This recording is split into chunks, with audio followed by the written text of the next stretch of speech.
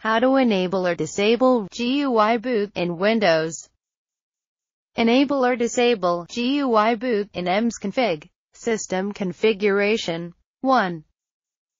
Press Windows plus R keys to open the Run dialog. Type msconfig and click tap on OK. 2.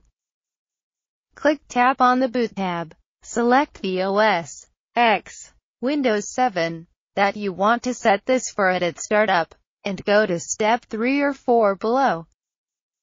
3.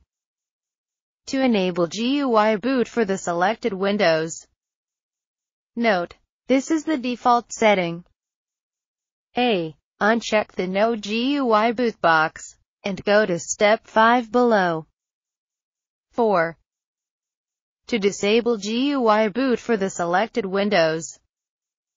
A. Check the No GUI boot box, and go to step 5 below. 5. If you have another Windows installed, X, Windows 8, in a multi-boot setup that you would like to set this for as well, then repeat step 3 or 4 above for it as well, and go to step 6 afterwards. 6.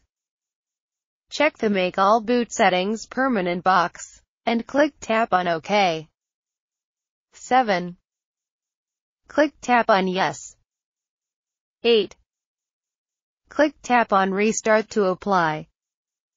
Note, be sure to save and close anything you have open first.